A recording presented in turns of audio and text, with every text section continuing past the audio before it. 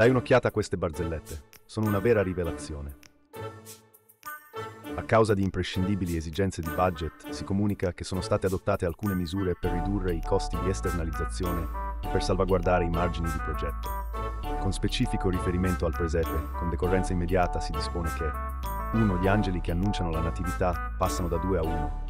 2. Il capo progetto deve verificare la possibilità che San Giuseppe, nei fuori orario di visita dei pastori, possa eventualmente affiancare e sostituire l'angelo rimosso. 3. Il bue e l'asinello a partire dal giorno della Befana vengono allocati su un altro progetto. 4. L'intervento dei re magi, costituenti una costosa esternalizzazione per di più in trasferta estera, decorrerà contrattualmente ed operativamente a partire dall'anno nuovo. Inoltre, come mezzo di locomozione per il ritorno, useranno a turno l'asinello di cui al punto precedente. 5. I pastori adoranti avranno a disposizione una sola pecorella a turno. 6. Per la riduzione dei costi è previsto lo spegnimento della cometa a partire dalle ore 22. 7.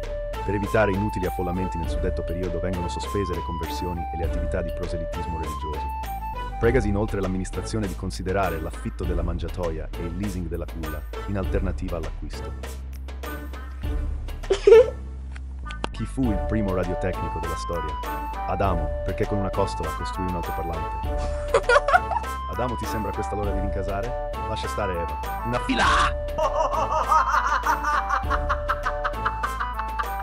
Un turista si reca sul lago di Nazareth dove, tantissimo tempo fa ed in tempi più tranquilli, Gesù camminò sulle acque.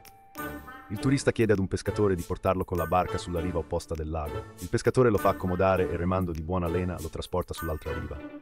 A quel punto il turista chiede al pescatore, scusi vorrei ricompensarla per avermi aiutato, quanto le devo?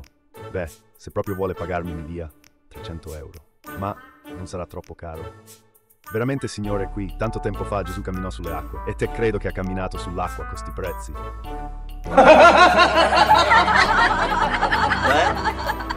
Tre figli ebrei lasciarono la loro casa, si resero indipendenti, prosperarono. Quando si riunirono di nuovo parlarono dei regali che avevano potuto fare alla loro madre.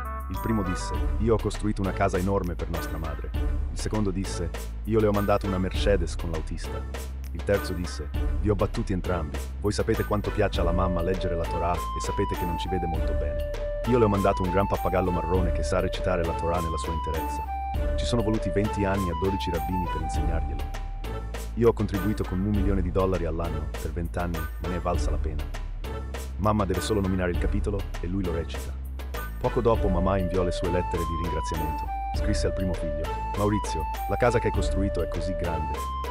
Io vivo in una stanza sola, ma devo pulire tutta la casa. Scrisse al secondo figlio, Mosè, sono troppo vecchia per viaggiare, resto tutto il tempo in casa, quindi non ho mai usato la Mercedes. Scrisse al terzo figlio, Carissimo Manuele, sei stato l'unico figlio che ha avuto il buon senso di sapere cosa piace a sua madre. Il pollo era buonissimo. Perché Dio ci ha creato con un solo mento? Perché non poteva fare altrimenti?